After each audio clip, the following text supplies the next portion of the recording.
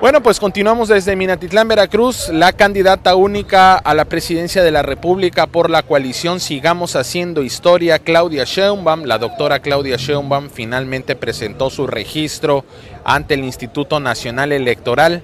Y terminando este registro, después de oficializar este registro, bueno, tuvo un pequeño meeting a las afueras de este instituto, coincidió que al mismo tiempo se estaba dando la marcha por nuestra democracia. Y pues ahí la doctora Claudia Sheinbaum pues hizo el llamado, eh, sobre todo, eh, hizo, o más bien, hizo el llamado sobre estas, eh, estas marchas que se están dando. Y bueno, pues la gente le decía, no estás sola Claudia, tienes el apoyo de la mayoría del pueblo de México.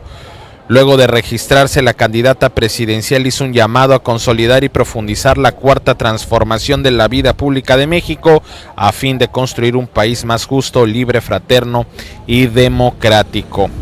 El 1 de marzo va a presentarse en el Zócalo de la Ciudad de México y ahí va a llevar a cabo los puntos de su programa de gobierno que va a incluir las iniciativas de reforma presentadas por el presidente Andrés Manuel López Obrador el pasado 5 de febrero.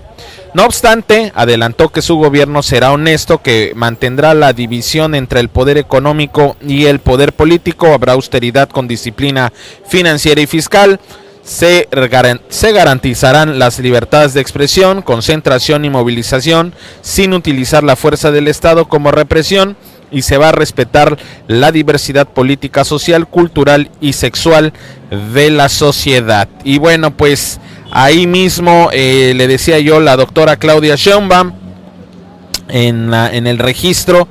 Bueno, pues se registró ante el Instituto Nacional Electoral como candidata presidencial por Morena, con la alianza por el Partido del Trabajo y el Partido Verde y este y Morena, desde luego.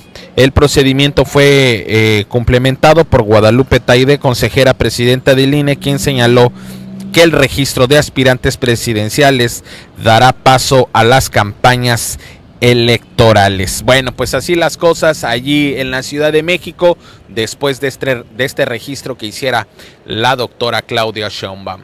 Nosotros seguimos desde Minatitlán, Veracruz.